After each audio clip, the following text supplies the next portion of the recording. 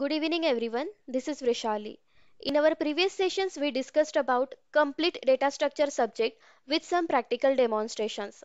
I have mentioned complete data structure playlist link in below description box. Now in this session we will discuss about the important questions based on data structure subject.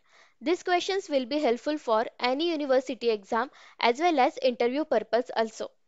This is not an official question bank. These are the general and most frequently asked question in your exam. So let's see. We will discuss important question on following tab topics. Some students having the data structure subject in their academics, some students having fundamentals of data structure subject and some students having data structure and algorithm subject. So both three subjects having the same topics and same syllabus almost. So you can refer this question back as per your syllabus. So for reference book, you can use S. Sahani, Fundamentals of Data Structure in C++, this book for study purpose. In this book, every point mentioned in detail or in example oriented format. So you can use this reference book for your exam purpose. Next. Now the first topic is Introduction to Data Structure and Algorithm. So on this topic in exam, they will ask about characteristics and properties of algorithm or which are the algorithm design strategies explained with example. So here you need to explain divide and conquer strategy, greedy algorithm strategy, their names with examples. Then definition about abstract data type, data structure and data objects. So generally these three questions asked for 4 marks. Next one is difference between linear and non-linear data structure with examples. So here you have to mention minimum 6 difference between this data structure for 6 marks. Next one is explain static and dynamic data structure. Here you have to mention their meaning with examples for 4 marks. The next question is what is complexity analysis algorithm? Explain the asymptotic notation. And the next one is explain asymptotic notation with examples. So in exam they will ask any one question from this two question. Okay. And the next one is what is space complexity or time complexity of algorithm you need to explain their importance with example okay? So in exam they will ask any one question from these two question.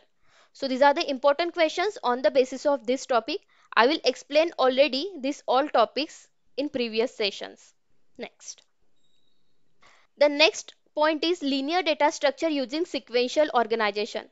So on the basis of this unit they will ask about topic on the sparse matrix like what is sparse matrix and there explain their representation or write C++ code to perform simple transpose or addition of sparse matrix. So they will ask any one question from this or they will ask performance or operations of transpose of sparse matrix or addition of sparse matrix. Okay. So you need to prepare both operations of sparse matrix. The next question is they will ask array using pointer notation. You need to demonstrate this thing with example.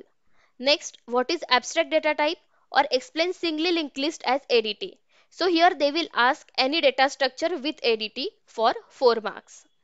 Next question is explain row and column major representation matrix with example. This is most important question generally asked for 6 to 8 marks. Next, what is array? Explain types of array with example or they will ask specific type of array like explain two dimensional array with example.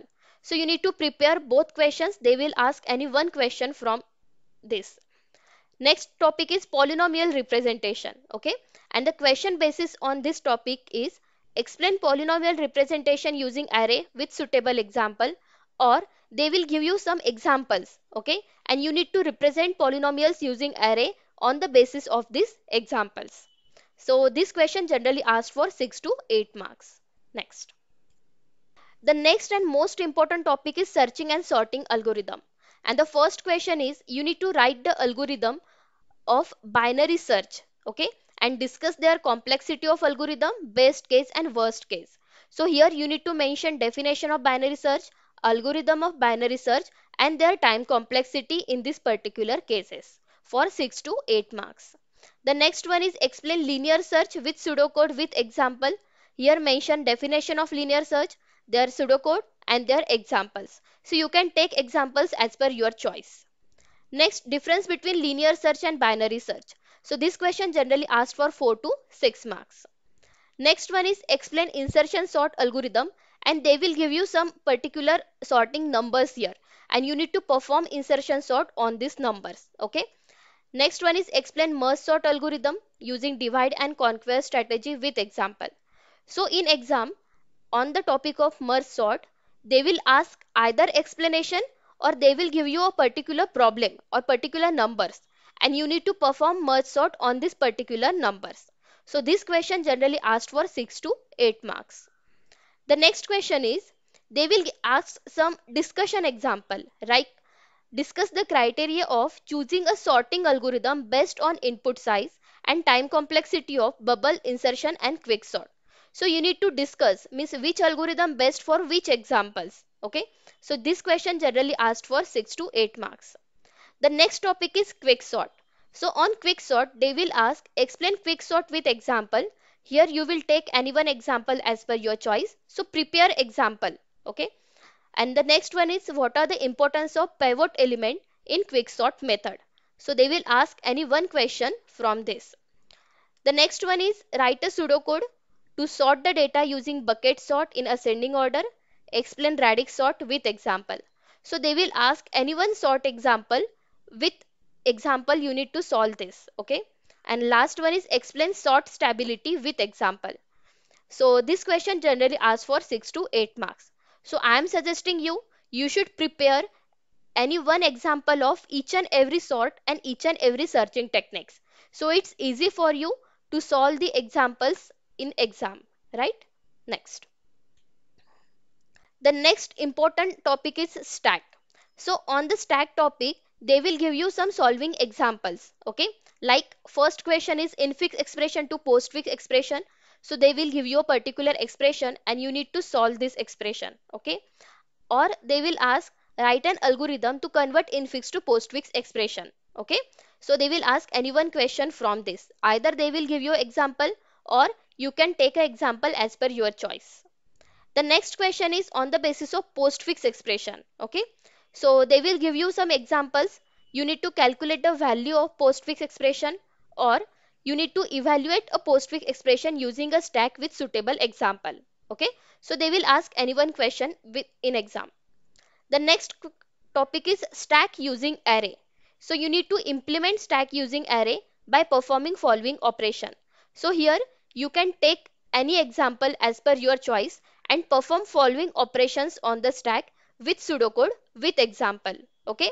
And here you need to draw the diagram of push, pop, display on all the other operations. Clear? The next question is explain implementation of stack using link organization or sequential organization. So they will ask any one question from this. So here you need to explain stack using any organization with example. The next one is explain the following linear data structure. So they will ask anyone example uh, a question from this. Either linear data structure here you have to explain stack and queue with examples or what is stack explain with applications. So these all questions generally asked for 8 marks. Next. Next is queue data structure. So the first question is what is abstract data type of queue? This question generally asks for 2 to 4 marks. Then simple queue using array or implement queue using sequential organization so they will ask any one question explanation of any one question in exam the next topic is DQ. So explain DQ or they will give you a particular operation like insert and delete operation or explain the concept of double-ended queue or insertion of deletion operation in link implementation of DQ. So you need to prepare answer of double-ended queue and they will ask any one question from this three question. The next topic is priority queue. So what is priority queue and operations of priority queue? This is most important question for 6 to 8 marks. The next one is explain linear queue and circular queue with example. And on the basis of topic circular queue, they will ask any one question from these three questions. Like write pseudocode of circular queue or how circular queue helps to overcome disadvantages of linear queue or implement a circular queue using linked list for 8 marks. Next. Next topic is linked list. So on linked list, the main important topic is polynomial representation using linked list or polynomial addition using singly linked list for 8 marks. Next, write a short note on singly linked list or insert node at singly linked list. So here you have to prepare both description, algorithm, pseudocode and examples. Next, what is doubly linked list or explain doubly linked list, circular linked list or draw and explain circular linked list, explain generalized linked list. So this all questions generally asked for 8 marks.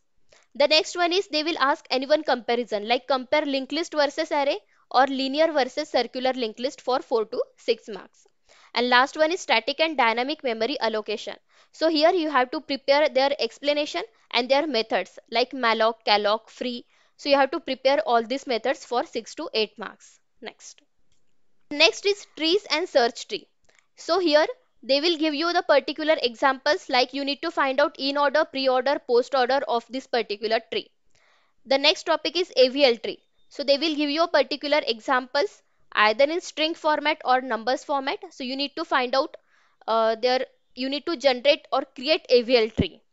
Next compare AVL tree and red black tree or explain red black tree with examples or k dimensional tree with examples. So these all questions are for 6 to 8 marks.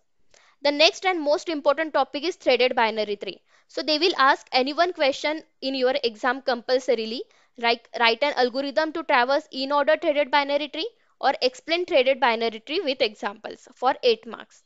Next, explain splay tree, explain B plus tree, B minus tree. So you need to prepare all this tree with example, right? Next.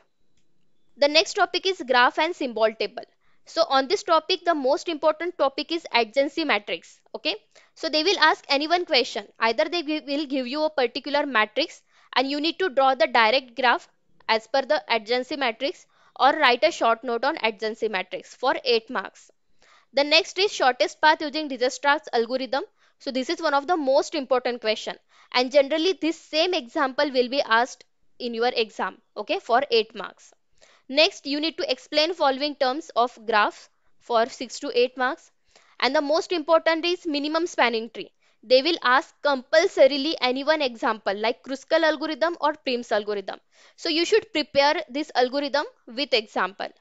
The next one is explain suitable example BFS and DFS traversal, minimum maximum heap data structure, topological sorting, Floyd-Warshall algorithm and optimal binary search tree. So this all question generally asked for 6 to 8 marks. So you need to prepare each and every examples of every algorithm of graph data structure. And the next topic is symbol table. So on this symbol table, they will ask any one question like what is symbol table, give symbol table ADT or static and dynamic tree table with example for 4 marks. Next. The next topic is file organization. So file organization is one of the most important topic they will ask in your exam like what is file and the types of file organization or what is file explain different file opening modes.